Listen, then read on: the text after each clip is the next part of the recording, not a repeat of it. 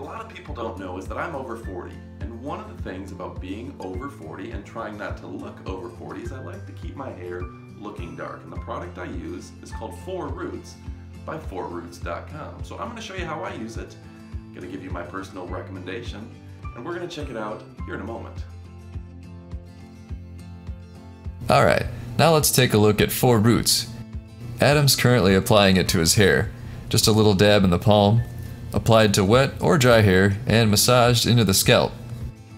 And by the way, it's not actually a hair dye. It styles away your gray in just seconds with non-flaking and no residue. It's alcohol free and not damaging to your hair. I personally like it because it isn't a harmful hair dye. I avoid hair dye due to its possible links to bladder cancer, lymphoma, leukemia, and breast cancer.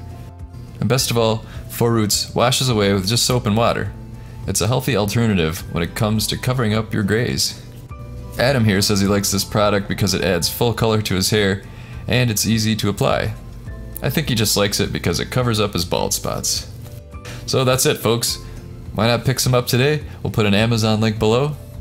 Apply it to wet or dry hair and it lasts until it's shampooed out.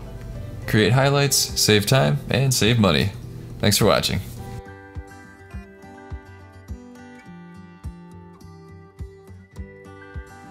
Alright, so that's 4Rootz. Make sure to pick some up. I'll put a link in the description below. We'll put an Amazon link in particular, so go ahead and check that out.